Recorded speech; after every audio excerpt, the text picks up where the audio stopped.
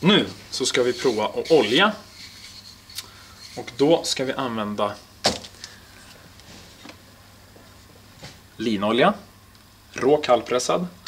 Lin är ett slags gräs kan man säga. Eh, och det som är bra med olja är att olja är mest fett.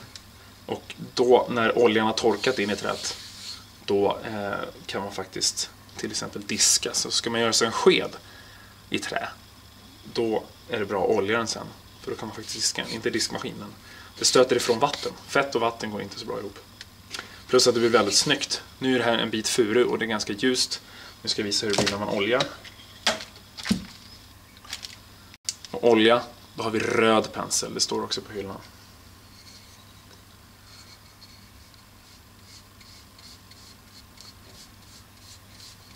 Då blir det liksom gyllengult. Det luktar gott, tycker jag också. Framförallt i ändträt här, i slutet av träbiten, där suger in väldigt mycket. Där blir det lite mörkare. Det blir supersnyggt tycker jag. Och när man låter det här torka in, det tar ganska lång tid om det ska verkligen bli torrt. Flera veckor faktiskt. Eh, men det blir väldigt snyggt och det blir en väldigt fin yta sen. Och det blir ganska blank.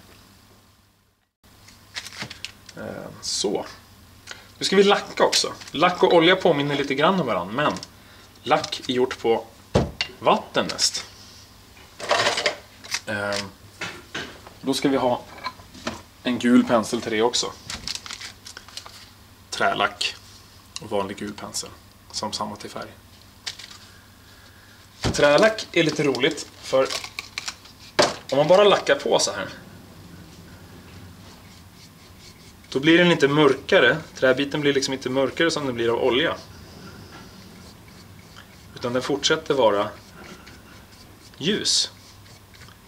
Men det blir en blank hinna över som är jäkligt snygg. Ehm, det blir liksom lite glänsande. Och vill man nörda loss då kan man lacka och sen slipa med väldigt fint sandpapper. Och så lacka en gång till, slipa igen, lacka igen. Då blir det riktigt snyggt.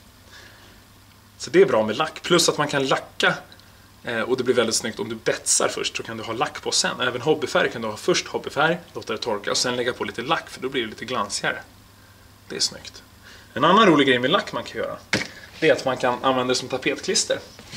Om vi har en rolig bild på någon figur. Man vill göra en snygg skylt som det står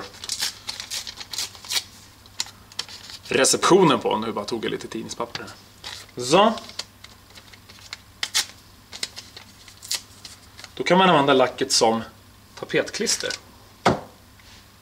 Penslar vi på träbiten här. Så lägger vi på pappret. Och så penslar vi på pappersbiten också. Sen när det där torkar in, då blir det liksom bakom en, en blank hinna. Om man till exempel råkar ha ett idolporträtt hemma på någon som man tycker är ascool. Till exempel om man heter Tora då gör man bokstaven T och så tar man sin Veronica Maggio-affisch kanske. kan man klippa ut och lacka fast henne. Det blir ganska snyggt.